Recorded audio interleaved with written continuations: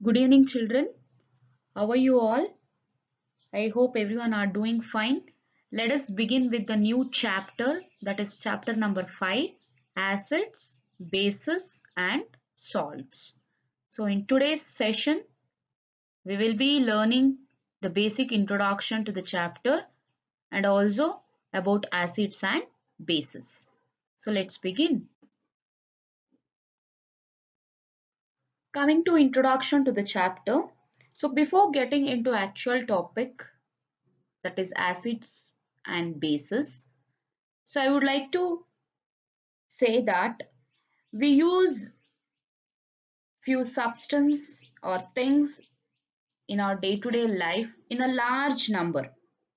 For example, lemon, tamarind, common salt, sugar, vinegar, so etc. So these kind of substance we use every day. We use it every day. Salt is so necessary, sugar, salt. So all these are necessary components that we use in our day-to-day -day life. Isn't it? And coming to the taste of these substance. So can you just recall the tastes of these substance and solve this table that is table 5.1 so lemon juice, orange juice, vinegar, curd, tamarind, sugar, common salt, amla, baking soda, grapes and unripe mango.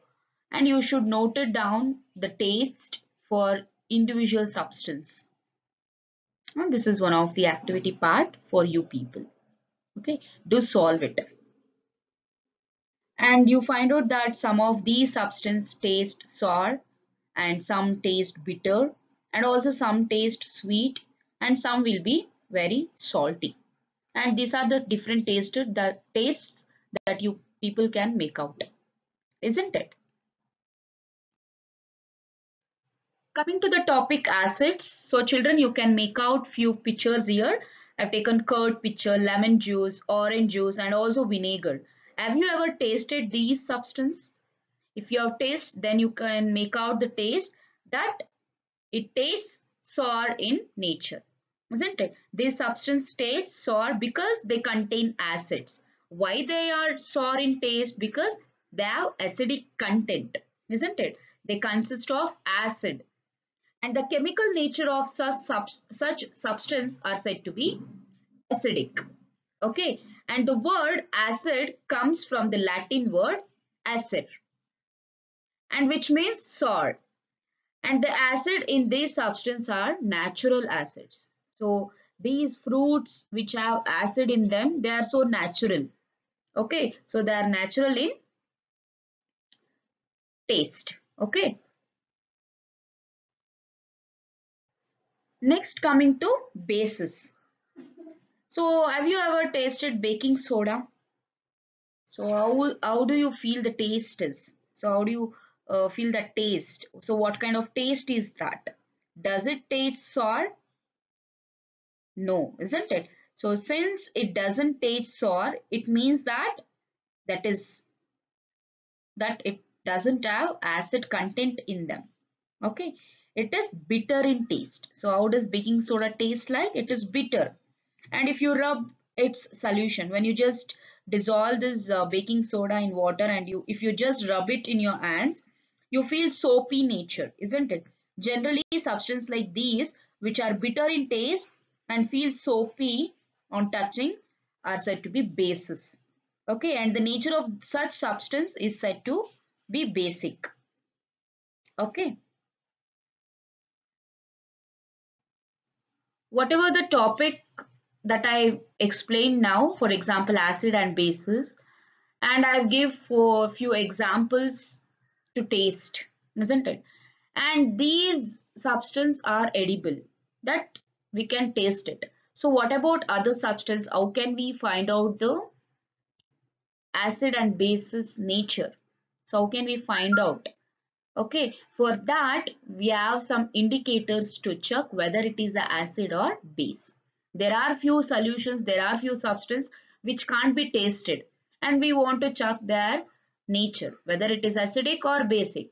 Then, so here are few indicators which indicates whether it is acidic or basic. Okay. So there is a special type of substance are used to test whether a substance is acidic or basic and these substances are known as indicators. So these indicators are meant to check whether the substance are acidic or basic and the indicator change their color when added to a solution which containing acid or basic.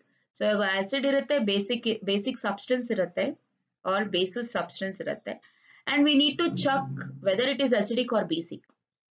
So we make it a solution then we take this indicator and check.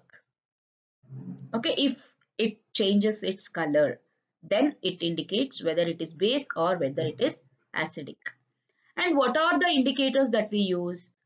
So here are few examples. Here are few indicators. You can just look into the picture. It is turmeric, litmus paper. Here you can see blue litmus paper and red litmus paper and next is China rose petals or otherwise it is called as Gudhal flower. It is hibiscus breed. Okay. And few indicators also there. And these are the indicators which naturally occur. These things are naturally available. But litmus paper, it is available in the lab. Okay. These indicators are used to check a solution or a substance whether it is acidic or basic. For example, I have an acidic solution, but I don't want to chuck it because it is harmful to me. I use litmus paper. I use red litmus paper. Okay, if that solution turns blue, red litmus paper turns blue means it is basic. So we can consider that solution is having basic nature. Okay, that means it is a base. What if I use blue litmus paper to check the solution?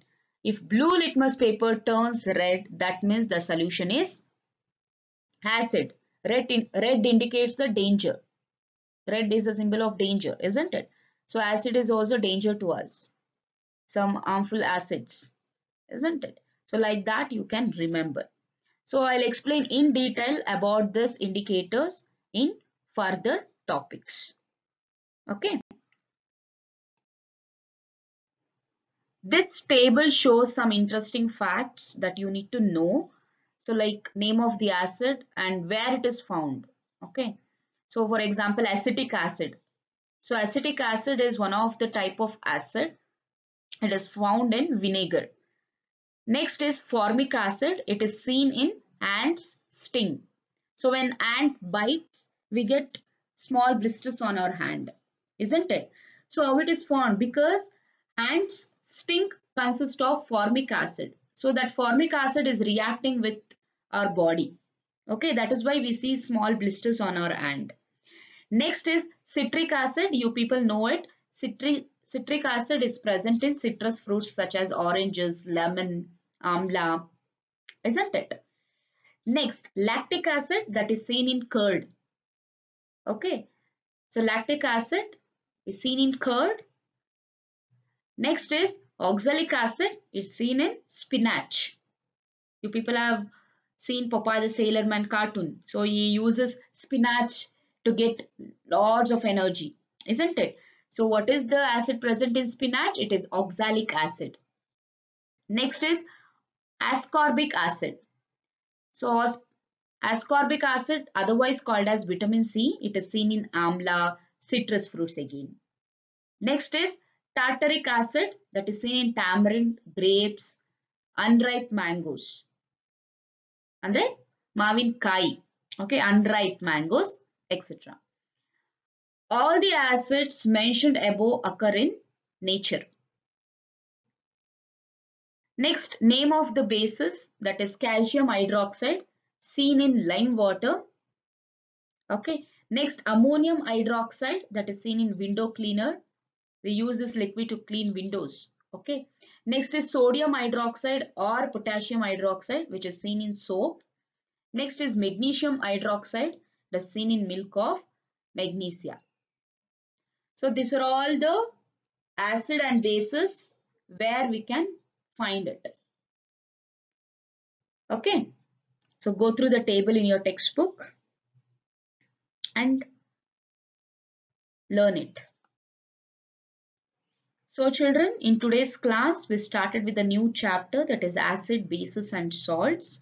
So in this video, we have learnt about acids, bases and examples for acids and bases and also indicators and few indicators we studied.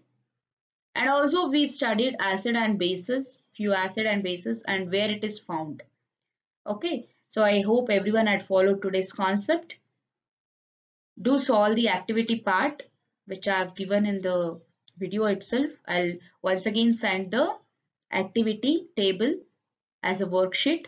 Do solve it in your textbook or else if you don't have textbook just do it in homework book. Okay.